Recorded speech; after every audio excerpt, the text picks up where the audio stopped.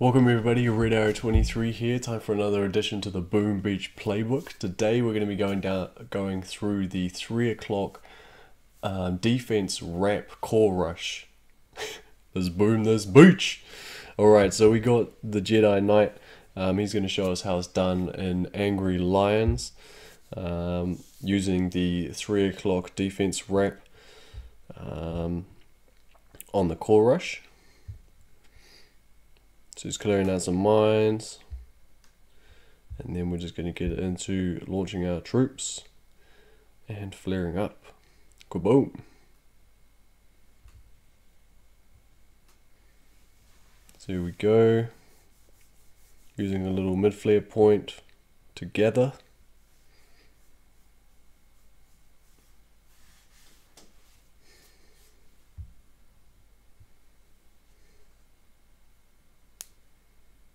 Noise, noise.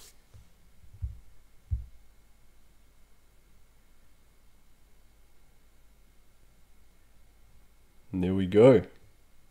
Look at that damage. Great hit from the Jedi Knight. Um, let's have a look, break it down a little bit. So as we said, first thing he did was clear out some mines. so this is a great hit. I love this hit. So much fun. So he's clearing out those mines, used one artillery, um, and there's a level 20 mines everywhere. And we're wrapping on this flamethrower here. Um, so just keep that in mind when we head up there. We can do a flag landing because they're, they're usually these two power cells on the beach. Um, if they're not there, you might need to do a flare landing. Um, just be aware of the ranges of everything. So the mortars were really close to being in range um, of the landing. But just get those flags nice and high so we can anchor. Remembering that um, when we're doing our flag landing, we usually, or we pretty much always will drop our hero at the same time, which is going to be brick. Um, if we do that, we just got to remember that we've got to throw shorter flares. If you do a flare landing, you can flare basically directly up to where the shock launchers are um, and then drop the hero in behind and it will, and the timing will work out good. But today we're just going to be looking at the um, flag landing, which is usually the way to go. And then from that position we can flare up to um, a midway point, which is usually just between these defenses. Um, these are sometimes rocket launchers, it doesn't matter either way. Um, but as long as that uh, mid flare is sort of on the right and we've launched our troops as close to a 45 degree angle as we can see. The Zookas are going to split a few defenses. Looks like he lost a few to the machine gun. That's going to be fine. And then they're going to converge through those power cells.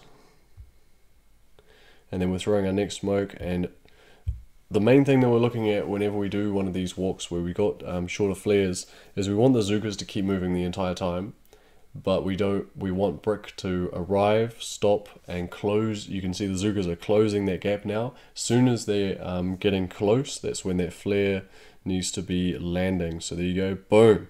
Zookas kept moving the whole time and now brick's not going to get too far ahead so that next flare point um, is going to be at 9 o'clock of the left shock launcher um, right up against that top wall. Um, and then that way the zookas are just going to split in between the two rock the in between the rocket launchers and the power cells. As you can see there they're just walking nicely through the middle. And then that second to last smoke is going to be um, nice just covering that flare spot. We've remember we've already cleared these mines so they're not going to be an issue if you haven't cleared them you, you definitely need to. Because if you watch the next flare is going to hit that machine gun again not letting those zookas um, stop moving and spread. And then as soon as that flare is gone we're going to be throwing that smoke. And you see that we're wrapping around this flamethrower. You did clip that boom mine that's fine not a big issue. Um, and then you'll see that he's no he's biased the smoke slightly towards the core which is important because that's going to be how they spread so we've flared onto that top machine gun the zookas are going to crowd around this flamethrower and you'll see that they spread more out to the left um, than to the right. So there's none on the statue side of the flamethrower. They're all on the other side. Um, and remember, the shocks are going to be very, very important right now because we need to shock this flamethrower that we are standing right next to because otherwise it'll roast us. But we also have all of our Zookas in one really tight spot. So if we slightly miss shock, we could shock all of our girls. Um, so you got to remember that. We're going to be throwing a critter for this shock blaster and this shock launcher and this particular um, showing of it. And we need to shock those two machine guns in one shock and then this flamethrower or these two three flamethrowers and this machine gun in one shock might even be more than that. Let me check. So once the Zookas have settled around that flamethrower and sniper tower, that's when you can throw your flare onto the core, and you can see that your um, smoke's already nearly about to expire, so you need to throw your critters first.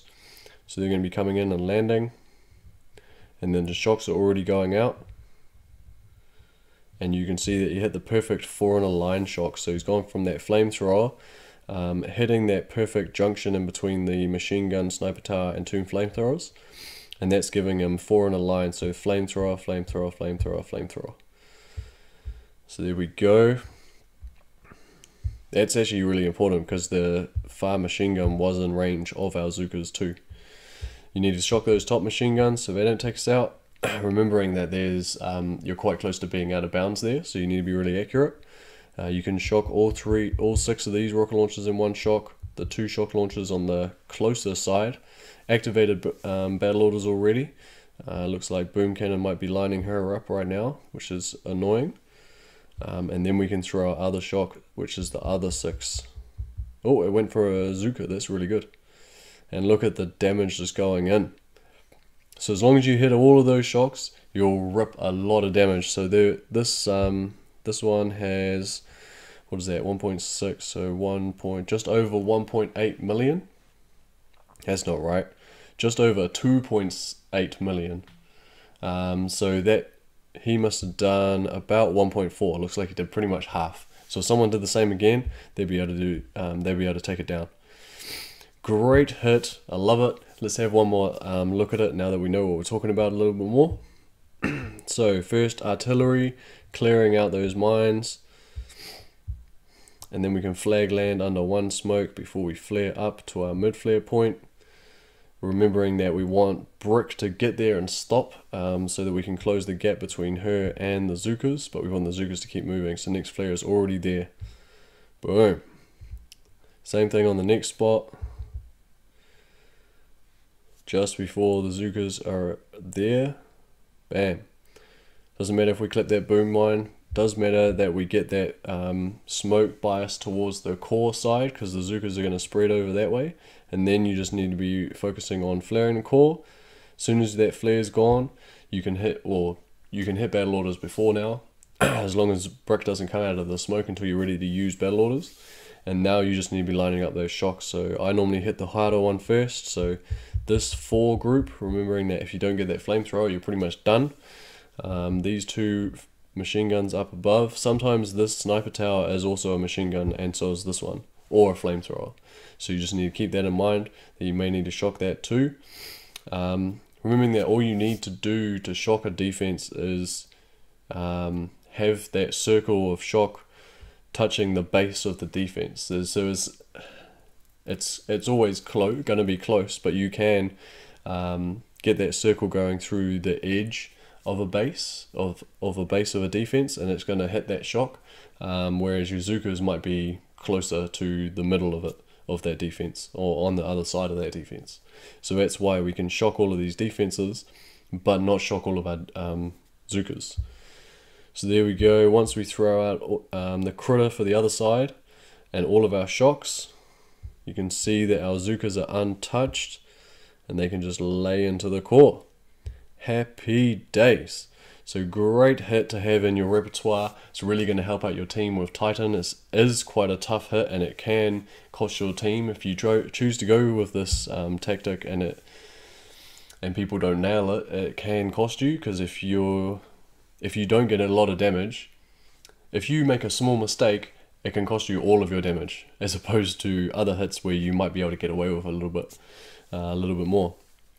Still a sick hit. I love it. Glad to add it to the playbook. Um, give us a comment down below if you do take out Titan any differently. Um, and then we've got some other tactics to try. Give us a thumbs up for the video, thumbs down if you didn't, and subscribe for more Boom Beach.